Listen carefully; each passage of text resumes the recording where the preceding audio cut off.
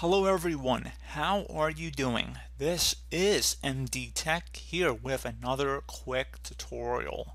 And in today's tutorial I'm going to show you guys how to change the taskbar position on your screen. So I believe in Windows 10 they do have this convoluted method of going through the modern Windows settings user interface to change it.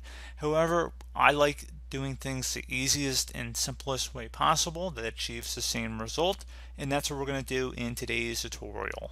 So all you have to do is just right click on a blank area of your taskbar and if you see the option that says lock the taskbar is checkmarked you want to uncheck it just by left clicking on it one time and then if you right click on the taskbar again it should not be checkmarked anymore.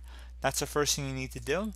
And now that you've done that, now you can move it to any corner of the screen by just holding down on your left mouse pointer and just drag it over to any corner of the screen.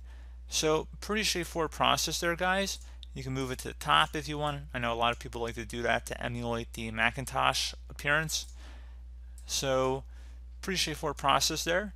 And then once you have it in the position you want, you just right click on the taskbar and then select lock the taskbar, just so you don't accidentally move it around in the future. That's what I would recommend, just lock it back up. So pretty straightforward process there guys. Do hope that I was able to help you out and I do look forward to catching you all in the next tutorial. Goodbye.